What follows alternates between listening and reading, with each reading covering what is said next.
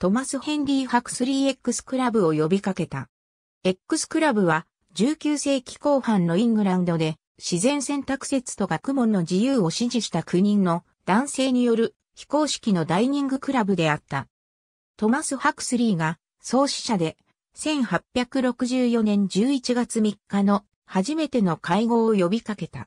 クラブは7、8、9月を除き月に一度ロンドンで会食した。クラブは1864年11月から1893年3月まで続いた。彼らはイギリスの科学界に幅広い影響を与えたと考えられている。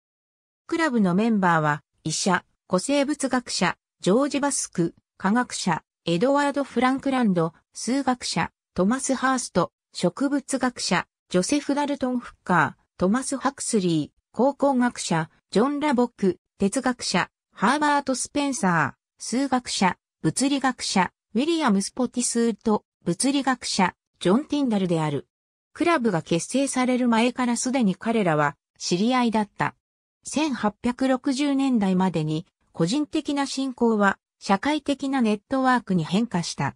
彼らはしばしば共に食事をし、共に休暇を過ごした。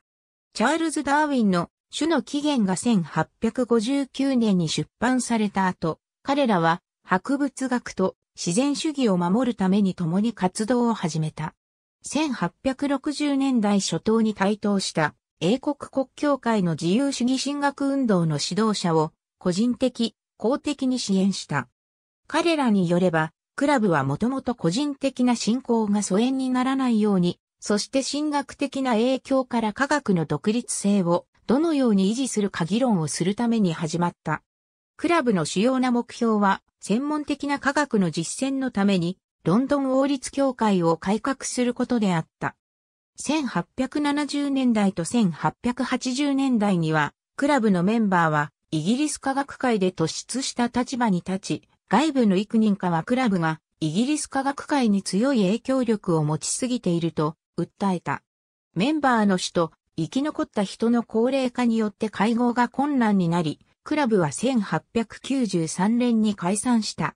植物学者、探検家、ジョセフ・ダルトン・フッカー発の夕食会が、ロンドン中心部のセント・ジョージズホテルで1864年11月に行われた時、集まったのは8人だった。同年12月に2回目の会合があった時ウィリアム、スポティスウッドが加わった。彼らはすでに社会的な結びつきがあった。1850年代に、後のクラブのメンバーは2つの友人グループを形作っていた。ティンダル、フランクランド、ハーストは物理学者として1840年代後半にはすでに友人であった。ハクスリー、フッカーとバスクは1850年代初めに外科医、博物学者として友人同士であった。1850年代中頃には、ハクスリーとフッカーを中心としてネットワークができつつあった。彼らは友人、専門家として互いに助け始めた。例えば1863年にティンダルはフランクランドが王立研究所で職を得るのに協力した。スポティスーとスペンサー、ラボックは1860年代初頭に進化と自然主義についての議論の過程で交友関係に加わった。彼らは多くの共通点を持っていた。全員が中流階級の出身で宗教的信仰も類似していた。30歳のラボックと57歳のバスクを除いて皆中年でラボックを除いて全員がロンドンに住んでいた。より重要なことに全員が博物学、自然主義、そして知的探求の宗教からの独立、いわゆる学問の自由に関心を持っていた。数学者、物理学者、ウィリアム・スポティスート X クラブが存在したのは、科学と宗教が激しく対立したビクトリア朝イングランドであった。1859年に出版されたチャールズ・ダーウィンの種の起源と自然選択説は裕福なアマチュアで構成されていた科学界の体制派と聖職者を兼任していた博物学者から嵐のような議論を引き起こし、イギリス国教会からの攻撃を招いた。19世紀の初めから彼らは進化論を真珠的な貴族社会の秩序への攻撃とみなしていた。一方で、進化に関するダーウィンの考えは自由主義的な神学者と新しい世代の職業的科学者によって歓迎された。後に X クラブを構成する人々はダーウィンを支持し、彼の業績を科学に対する聖職者の干渉からの解放ための大きな闘争の一部とみなした。X クラブのメンバーは1864年のダーウィンのコプリメダル受賞においてかなりの役割を果たした。1860年に国境会自由主義派によってキリスト教に関するエッセイ集、エッセイレビューが出版された。エッセイ集は聖書が記述する世界の歴史に対する生物学者と地質学者の一世紀近く続く挑戦の要約を示していた。手短に言えば、エッセイレビューの執筆者は聖書を他の文学作品と同じように分析しようと試みていた。エッセイ集はダーウィンの著作以上の論争を引き起こした。後の X クラブのメンバーは執筆者を支持し、ラボックは自由主義派と科学者の間に同盟を結ぼうとさえ試みた。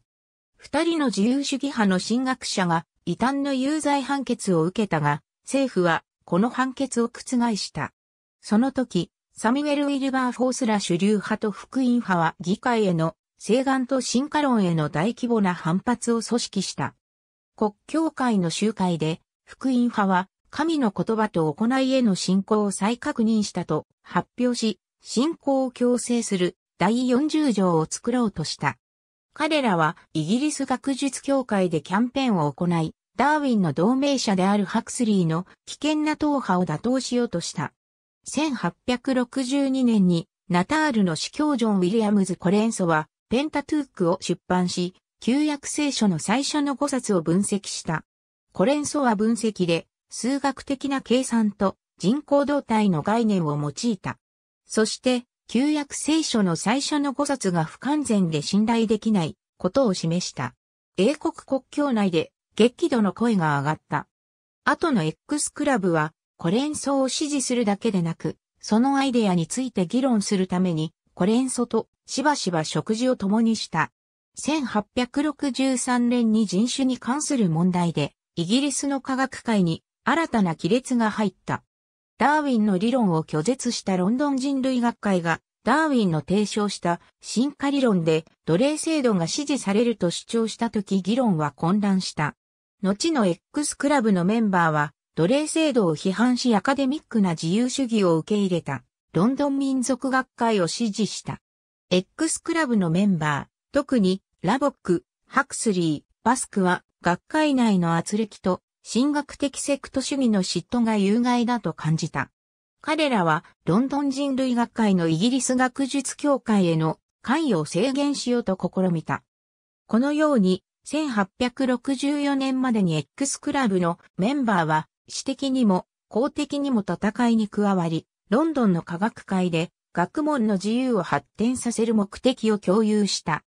アイルランド生まれの物理学者、ジョン・ティンダル共通の関心を持つ人々が非公式のダイニングクラブを結成しアイディアや情報を共有することは、後期ビクトリア朝のイングランドでは一般的であった。1800年代に存在した公的な共同体や機関は非公式のダイニングクラブに期限を持つことが多かった。当時の多くの公的な共同体が抱えていた問題は会議の方法であった。ほとんどはあまりに大きくて、個人的な科学的話題を論じるのに不適当だった。加えて、1860年代には、学会内の進化と宗教に関する議論によって、関心を共有する人同士の議論でさえ困難になった。19世紀後半には、フィロソフィカルクラブやレッドライオンクラブのように、いくつかの科学的なクラブが作られた。しかしこれらのクラブには、ハクスリーやフッカーらが求めた科学的に厳格な専門性が欠如していた。B クラブのようなより専門性の高い他のクラブとは親密ではなかった。1864年にハクスリーはフッカーへの手紙で、友人グループと疎遠になるのが恐ろしいと述べた。ハクスリーは友人たちの社会的結束を維持するために、ダイニングクラブの結成を提案し、フッカーはすぐに同意した。ハクスリーは、親睦がクラブの唯一の目的であると常に主張していたが、他のメンバー、特にハーストは、他の目的があると主張した。実際に、最初の会合を、彼は、科学への献身、純粋さと自由、宗教的ドグマからの解放と描写し、協調の努力が役立つ時が来ると予測した。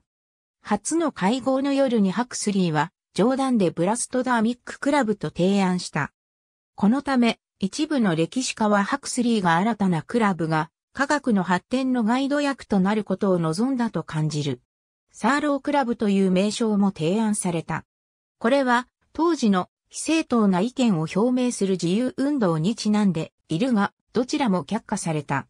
スペンサーが後に語ったところによると、X クラブという名称は1865年5月に決まった。それは何も意味していない。名前そのものはハーストによれば、バスク夫人から提案された。会合は休暇中にあたる7、8、9月を除く毎月第1木曜に行われると決まった。バーリントンハウスで午後8時か8時半から行われるロンドン王立協会の会議に間に合うように夕食会はいつも午後6時から行われた。初の会合には8人が集まった。スポティスウッドは第2回の会合から出席した。生理学者、ウィリアム・ベンジャミン・カーペンターと建築家、ジェームズ・ファーガソンも誘われたが彼らは辞退した。スペンサーによれば、後の議論で、クラブ以外の人々は親しくなかったか、十分に知的でなかったために、これ以上メンバーを増やさないことが決められた。それに対してハクスリーは、新しい名前が上がっても、旧メンバー全員の同意を得られなかったために誰も入れなかったと書き残している。スペンサーによれば、クラブの規則は唯一規則がないことであったが、1885年に会合の公式な記録が付けられることになったために、その規則は破られた。また、スペンサーの説明に反してクラブは会計と書記を持っていた。どちらもメンバーが持ち回りで担当し、会費を集め、次の会合の予定を通知した。ハースト、ハクスリー、フッカー、ティンダルは非公式の記録を書き残している。哲学者、政治理論家、ハーバート・スペンサー1864年の創設から1893年の解散まで X クラブとメンバーはアメリカのサイエンティフィック・ラザローにフランスのアルクイユ協会と同じようにイギリス科学会に大きな影響をもたらした。1870年から1878年まで、フッカー、スポティスーとハクスリーは、ロンドン王立協会で役職を持ち、1873年から1885年まで3代続けて会長職を独占した。スポティスートは1870年から1878年まで、協会の会計役を務めハクスリーは1872年に事務局長を務めた。フランクランドとハーストも王立協会にとって重要だった。フランクランドは1895年から1899年まで海外担当の役員であり、ハーストは1864年から1882年の間に3度、評議員を務めた。協会の外でも彼らは影響力のある地位を維持し続けた。メンバーのうち5人は1868年から1881年までに英国学術協会の会長を務めた。ハーストは1872年から1874年までロンドン数学学会の会長を務めた。バスクはイングランド王立議会主会の審議官と会長を務めた。フランクランドは1871年から1873年のロンドン科学学会の会長を務めた。9人は合わせて3つのコプリメダル、5つのロイヤルメダル、2つのダーウィンメダル、そしてランフォードメダル、ライエルメダル、ウォラストンメダルを1つずつ獲得した。18の名誉学位とメリット勲章、プロイセンのプールルメリット勲章を1つずつ得た。2人がナイトに上された。彼らが科学界で重要な地位を維持し続けたためにこのプライベートなクラブは有名になった。多くの人々はクラブをイギリス科学界の幹部会とみなし、リチャード・オーウェンのような一部の人は、クラブの影響力の大きさを訴えた。1876年に、クラブはラボックのイギリス議会への立候補を支持することを決議した。しかし、ハクスリーは常に、クラブの目的が単にそれがなければ疎遠になるかもしれない友人たちをつなぐためのものだと言い続けた。ハクスリーによれば、メンバー全員が科学界で重要な地位を維持したのは単なる偶然であった。1880年までに X クラブのメンバーは科学界で重要な地位を維持し、クラブは高く評価されたが、次第にチリチリになっていった。1883年にスポティスウッドが超チフスで死去した。スペンサーによればその頃健康だったのは二人だけだった。会議への出席は減少し始めた。1885年にフランクランドとラボックは新しい会員を選ぶべきだと主張した。この点に関しては意見の相違があり、結局その主張は退けられた。1886年にはバスクが死去した。1889年にハクスリーとスペンサーが土地国有化政策で意見を対立させ、グループに亀裂が入った。メンバーは年を取り、1880年代後半から1890年代前半に幾人かがロンドンを離れた。出席者数が減ったためにクラブを解散すべきかという意見が話題に上った。最後の会合は形式張らない形で1893年3月に行われ、フッカーとフランクランドだけが出席した。ありがとうございます。